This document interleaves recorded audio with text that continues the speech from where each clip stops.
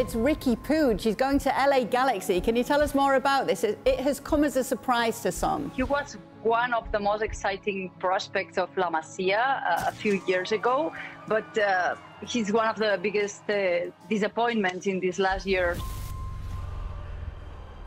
It had been years since the likes of Thiago, Cesc Fabregas, Iniesta, Busquets, and Xavi had broken through and represented the midfield greatness that La Masia could create. Riqui's abilities on the pitch brought back the itch of nostalgia for so many culés, and man, I can't blame them for that. Born in Barcelona, Ricard Puig Martí, or Riqui for short, joined La Masia at 13 years old and rose healthily through the ranks before making his debut for the first team on December 5th, 2018.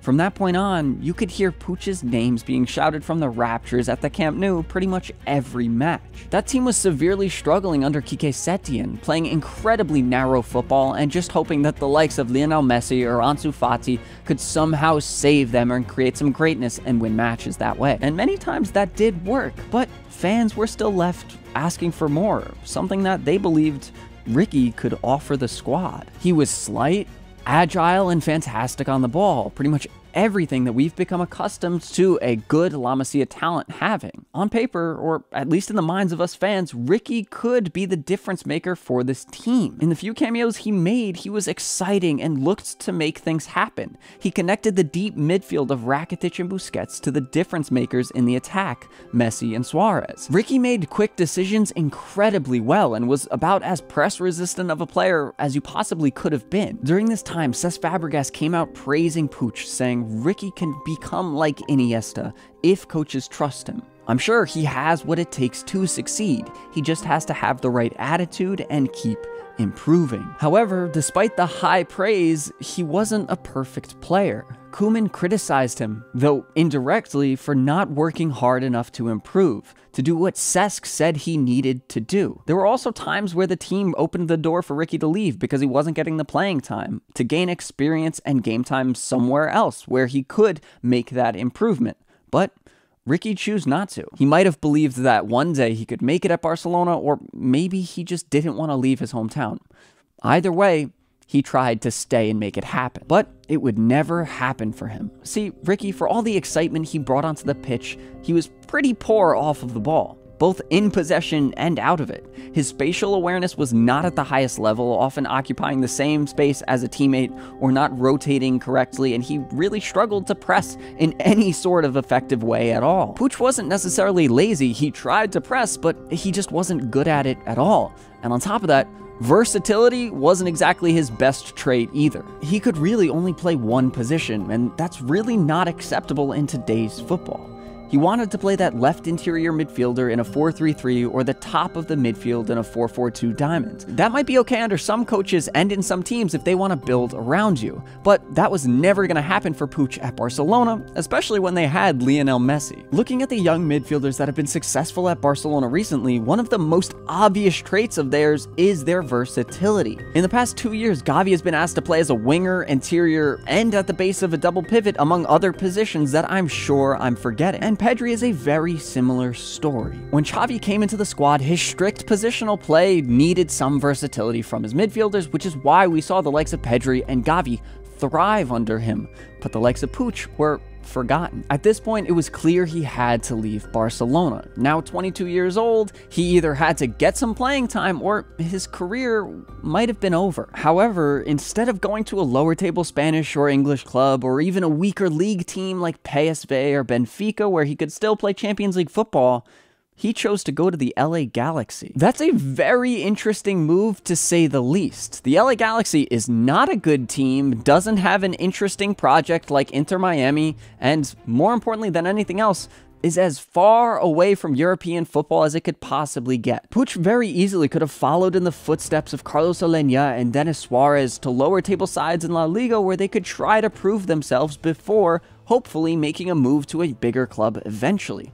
But Riqui chose something else, something different. Not to say that one is better than the other, but maybe Puig just thrived in the spotlight. He loved the attention he got at Barcelona and wanted to get something similar elsewhere, so he went to LA where he could be the guy. When he made the move, I knew the American fans would love him, not only because he was coming from one of the most famous clubs in the world, but because he is a fun and exciting player to watch. He's also a good looking and charismatic guy, someone who could be the face of a franchise here in the United States. And that is exactly what the club tried to do. Just look at the Inter Miami vs LA Galaxy game from a few weeks ago. The headline is Lionel Messi vs Riqui Puig. In what world would we have ever seen that in Europe?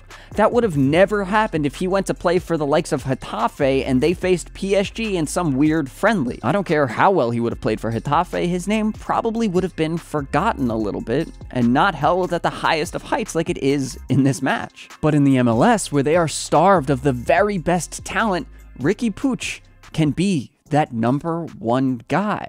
However, that doesn't come without trade offs. Cesc said that Puig could become like Iniesta one day if he improved. And with the LA Galaxy, he has definitely improved. His final ball is much better, he is a much more progressive passer, and is quite a decent finisher as well. But all of this improvement doesn't really matter because I don't think it will be taken seriously by a top European side. It's not like he's Zlatan who already proved himself. Riqui failed in Europe and then he left. I'm not optimistic about the door still being open should he want to move back in the future. He has also not at all improved defensively, and a lot of that has to do with the fact that the LA Galaxy don't really give him the responsibility to defend. They were able to build that LA Galaxy team around him, allowing him to really excel at the good things, but not have to improve his overall game completely. Because the LA Galaxy weren't a great team and didn't have a ton of prospects when he came, Riqui was basically given the keys to the castle, so I imagine he can play whatever position he wants. He even takes pens for the side, and I'm gonna be honest, I've watched a bunch of them, I don't think he's great at taking pens. But nevertheless, all this creating a team around Riqui is gonna be another barrier to his entry back into Europe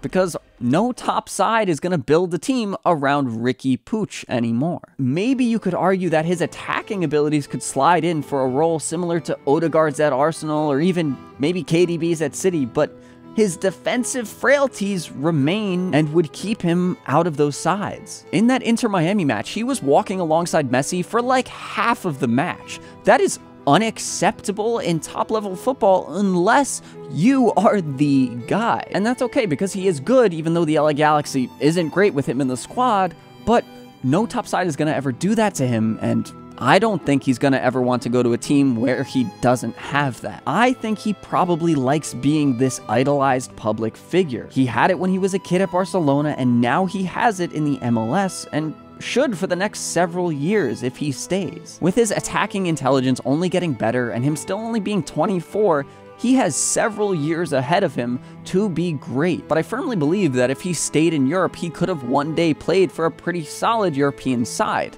if that's what he had wanted to do.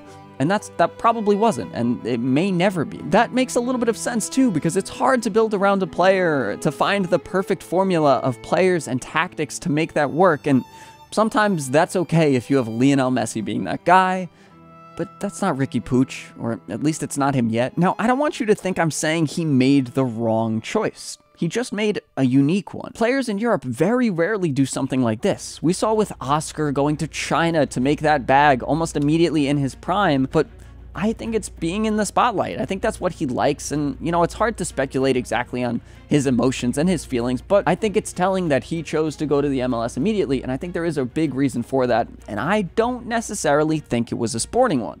I think he likes the profile that he has. And there's nothing wrong with that. It's just different from what we're used to. And I could imagine for a lot of Culés, it's upsetting because we wanted to see him break through at Barcelona, but he didn't prove to be that guy or have the ability to pick up that game quick enough. He might have been able to do that if he went to a lower table La Liga side or even went to the Premier League, but I don't think that path is in front of him anymore. Now, big shout out to the Purist Football. Uh, he wrote an article a few years about the, what happens to Riqui Puig at Barcelona, and I would not have been able to understand so much about him tactically if it weren't for his article. But if you enjoyed this video, go check out this one about the hunt for the new face of FC Barcelona. It goes through a wild history of Barcelona trying to find the formula to create the next Messi and all their failures leading up to the guy we have now. But thank you for watching, and I'll see you in the next one. Peace.